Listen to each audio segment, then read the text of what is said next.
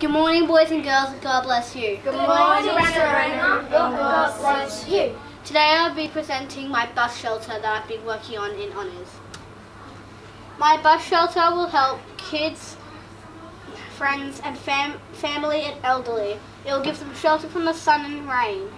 Did you know that some shelters aren't even shelters? I will add lots of colour, definitely not dull. Uh, I will also add lots and lots and lots and lots and lots and lots and lots and lots of books because children love colour and books. We looked at some sh bus shelters in Australia and some stop bus stops you, you just stand up and wait for your bus with no shelter. Can you believe it? Wait, what? Okay. I'm creating a bus shelter. I will include two rooms. The first room is where people will wait for their bus. It will have a TV and math questions. It will also have a comfy bench with comfy cushions. The second room will be a bathroom and it'll have speakers to tell people when their bus comes. It will also have a bath. What materials are you, am I including? I am real life materials will be steel, corrugated roofing and glass.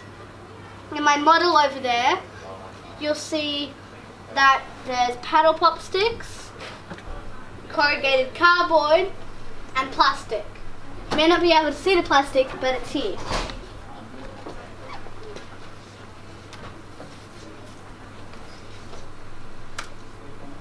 This is my design for that. This is the window, marked window.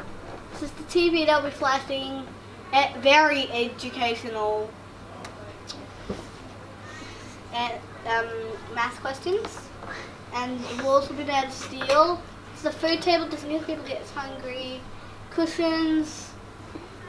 It'll be extra comfy and plushy.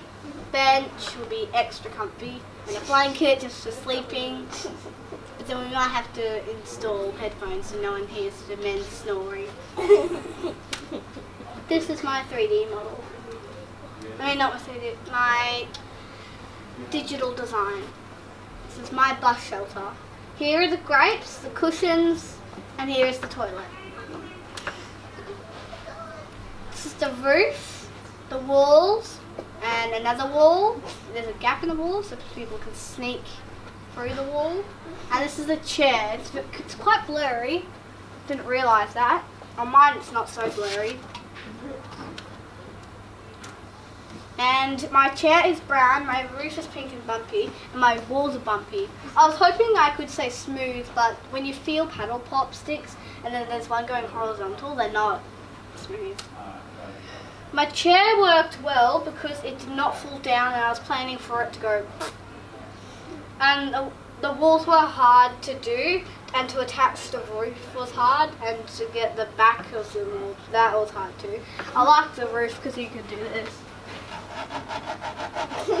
and it feels good. Oopsies.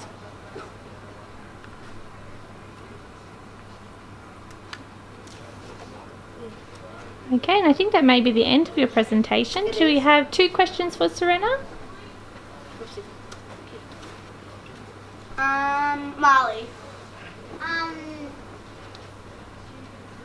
how many cushions would there be? Dunno. Do you think There'll be a lot because they'll hold like lots of people. Wait, I also want to see if it says how many people it might hold.